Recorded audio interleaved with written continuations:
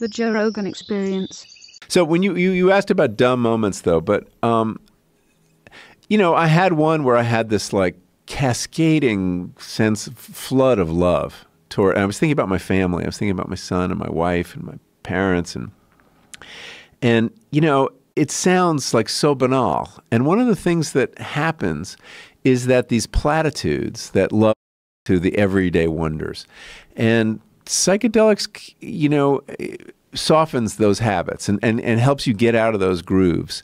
And for me, that was really useful. And uh, it's only, I think it's the experience of ego dissolution that allows you to, because your ego enforces those habits and you get a little break. There's a beautiful metaphor. One of the scientists I interviewed in the book, a Dutchman working in, uh, in Imperial College in London, he said, Think of your mind as a hill covered in snow, and your thoughts are sleds going down that hill.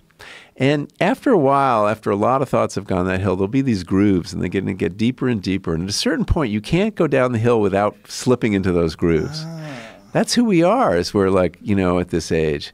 And um, what psychedelics do, he said, is, is flatten the snow, lots of fresh powder. Ah and you can then take the sled any way you want to go. That's a great way of Isn't describing it. I've always talked about predetermined patterns and grooves that people fall into. So it's amazing hearing him say it that way, but that's a much better way of describing it, like snow. Yeah. The sliding these thoughts down these already existing patterns.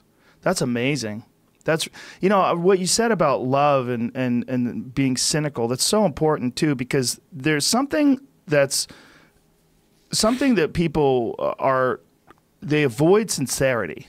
Like it, there's something about it that it makes you too vulnerable or too exactly. open to criticism or too open to ridicule, and we're worried about being sincere. And I do think that that's one of the primary benefits of psychedelics. Yeah, we live in an ironic culture, yeah. and we defend ourselves against strong experience or self-exposure by adopting this stance that's ironic and uh, cool. Yeah. And um, psychedelics is not a cool experience. It's the opposite.